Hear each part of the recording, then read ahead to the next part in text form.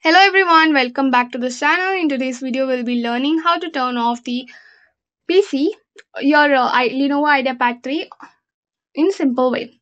Step 1 is you need to close all the windows open, close it and whatever is open, close it. And when you close,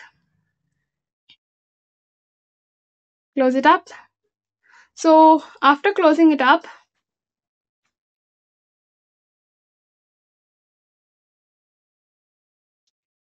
after closing up you could on the keyboard you can find this one.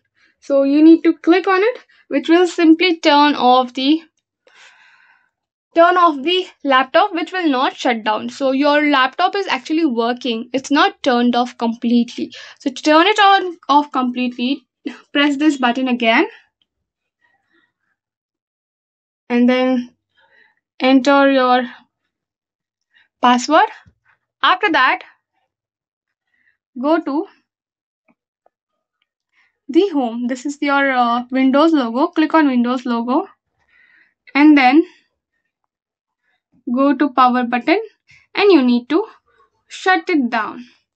So when you shut it down it means that your pc and the other components in your PC is completely shut down and your PC is not working in any condition.